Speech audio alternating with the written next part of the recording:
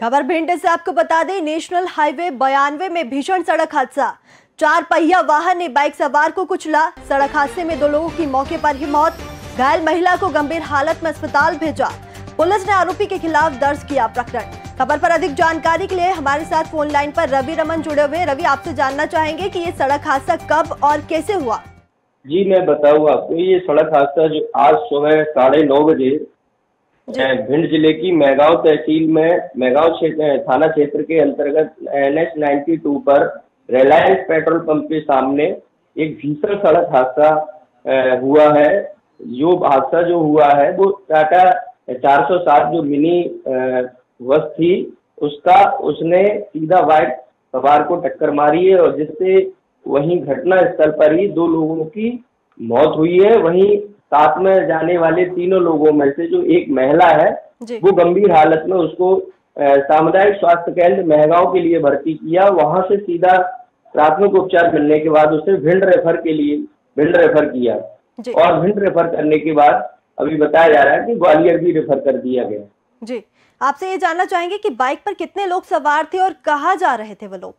जी bike पे तीन लोग सवार थे। और ये भिंड में एक शादी में शुमार होने के लिए गए थे जो। कि वहाँ से वापस अपने गोहद घर जा रहे थे।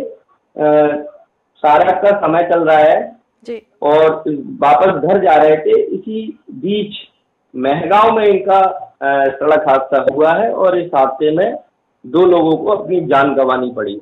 जी आपसे ये भी जानना चाहेंगे कि पुलिस ने इस मामले में कोई किसी की गिरफ्तारी की है और क्या कार्रवाई की अभी तक? जी। पुलिस से मेरी डीबीएस तोमर साहब जो महगांव थाना प्रभारी है उनसे मेरी बात हुई थी। उन्होंने मुझे अवगत कराया इस घटना के बारे में।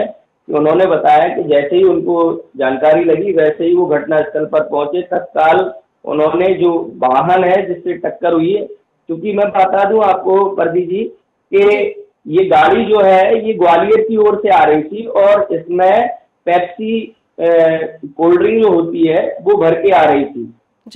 चलिए, खबर पर चर्चा के लिए आपका बहुत बहुत शुक्रिया। और खबर आपको भिंड से बता रहे थे, जहाँ नेशनल हाईवे बयानवे में भीषण सड़क हादसा हुआ। चार पहिया वाहन ने बाइक सवार को कुचला। सड़क हादसे में दो लोगों की मौके पर ही मौत की बात सामने आ रही है। वहीं घायल महिला को गंभीर हालत में अस्पताल भेजा गया। पुलिस ने आरोपी के खिलाफ फ़िलहाल प्रकरण दर्ज कर लिया है।